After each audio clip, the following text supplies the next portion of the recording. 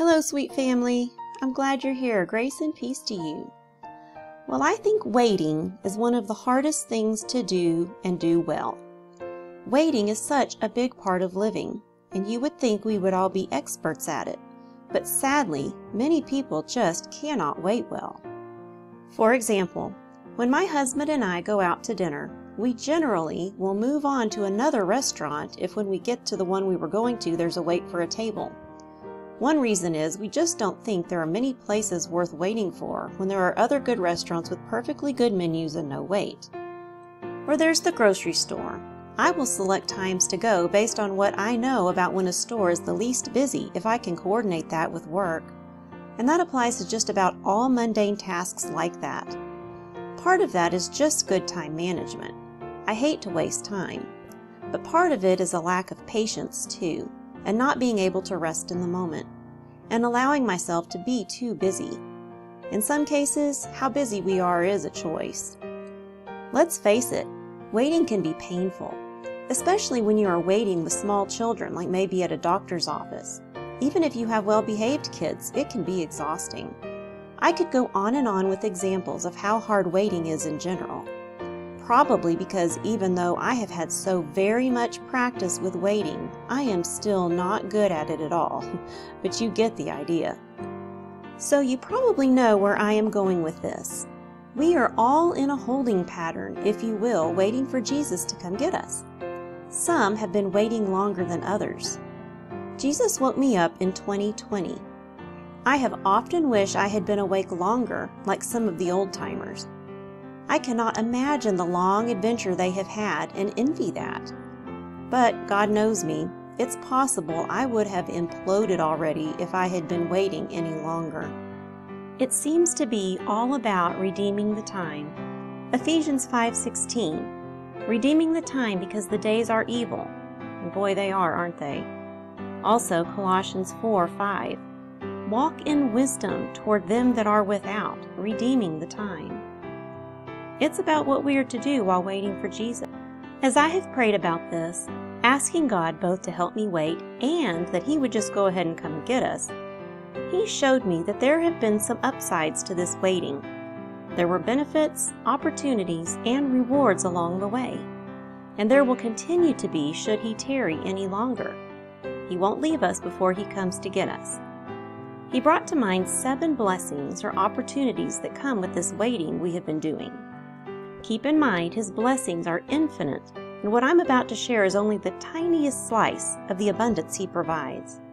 These are the ones I felt applied to our current situation. I bet you can think of more.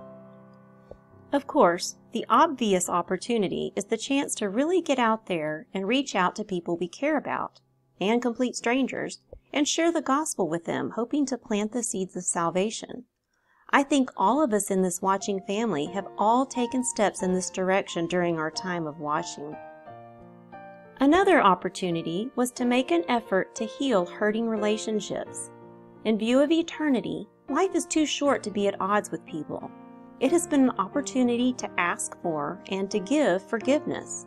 That, in and of itself, is a step toward freedom if you think about it. Knowing time is short also can help us to pick our battles with the people we love. Maybe some of the issues we have with others are not that big of a deal in light of eternity. Maybe we have more love for our family knowing soon that our sin nature will be gone. And none of that sticky old sin will inflict pain in our relationships anymore. Knowing that can make it easier to bear patiently until it does come. We have also been given time to learn as much as we can about God's Word and His plan for not only us, but for the ages. It seems like the whole watch community is, con- is continually deep in the Word and learning and sharing so much more than I ever thought possible. It has been a real blessing to me to see others so in love with God's Word.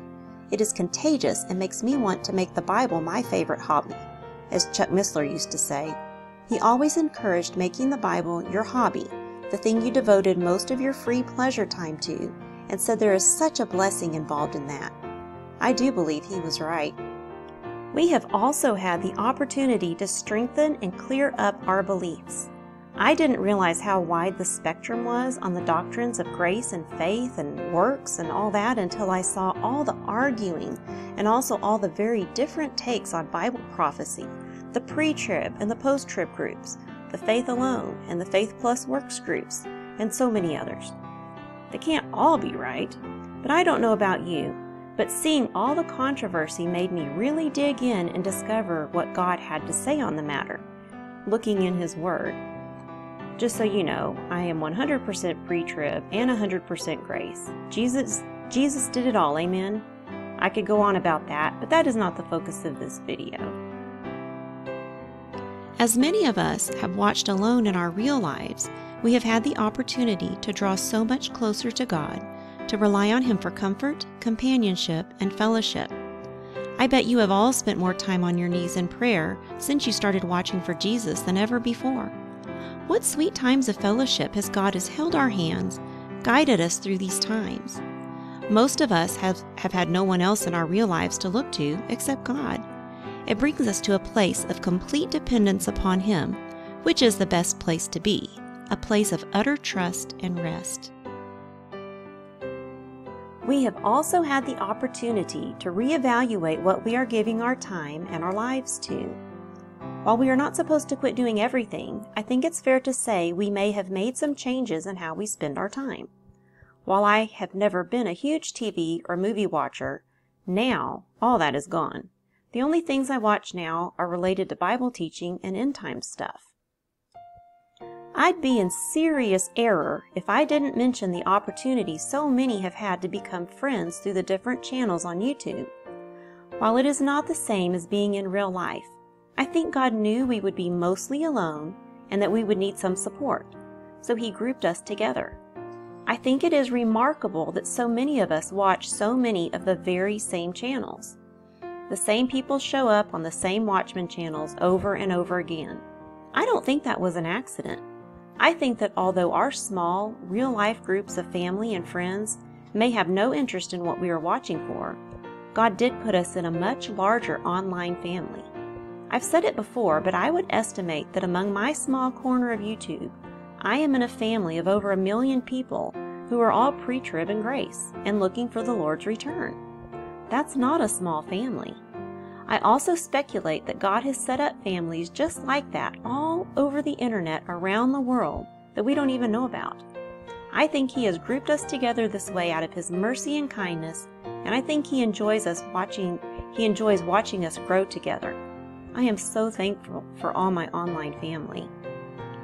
Well, that was seven, but I just thought of one more. Actually, I've got eight benefits of waiting for the rapture.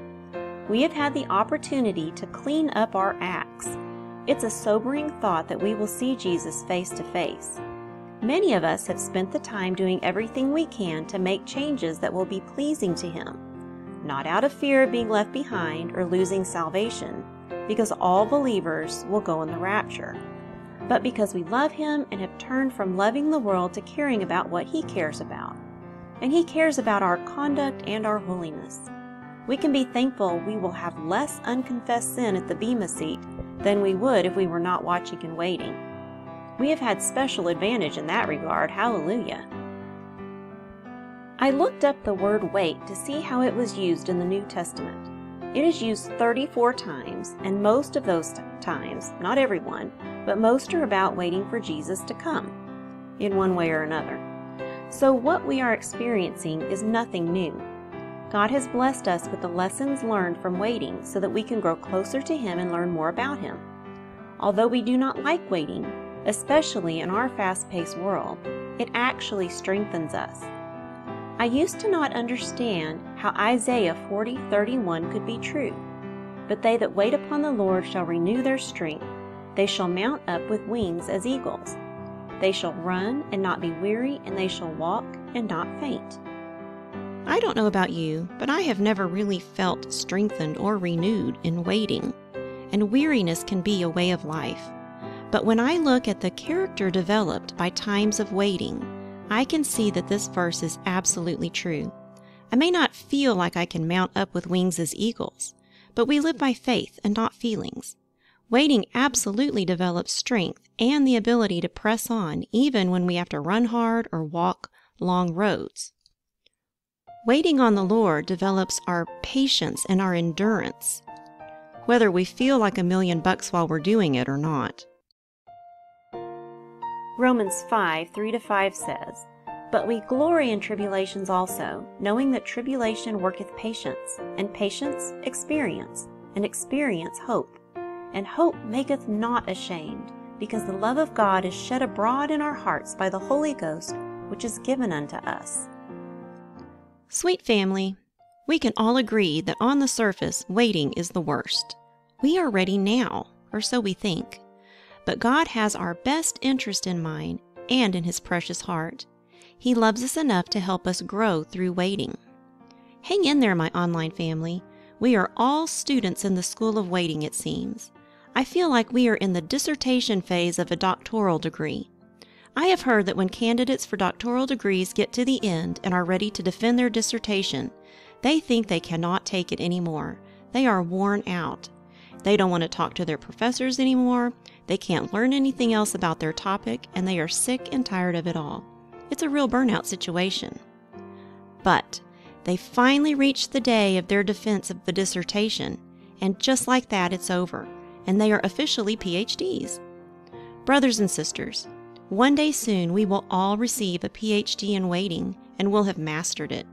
He will come and confer on us that degree, and all the waiting and the struggle now will be so worth it, and will also fade away from our memory as we move forward with joy into the new life that awaits us in eternity. That is just so exciting. Oh, and one final observation. God waits too. 1 Peter 3:20 says, which sometime were disobedient, when once the long suffering of God waited in the days of Noah, while the ark was preparing, wherein a few, that is, eight souls, were saved by water. Isn't it good to know He is the master of playing the long game when it comes to waiting? I'll leave you with some of the verses that talk about waiting for Jesus. Love you guys, and I'll see you on the next one.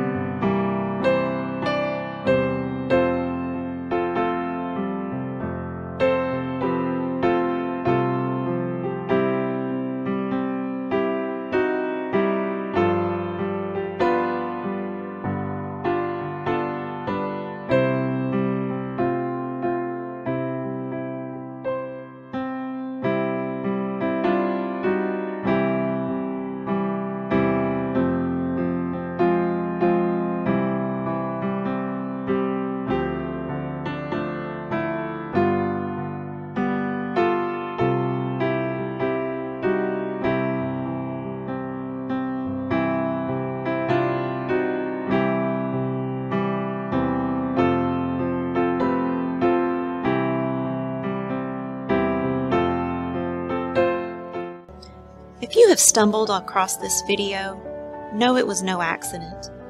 You may be searching for some answers.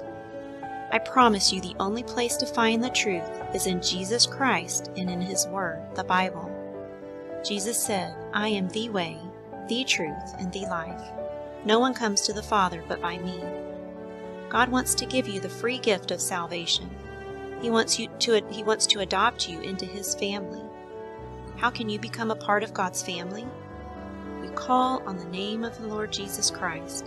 By calling on his name for salvation, it means you believe he is the Son of God who shed his blood and died, taking the punishment for sin that all of us deserve, and that he rose again the third day.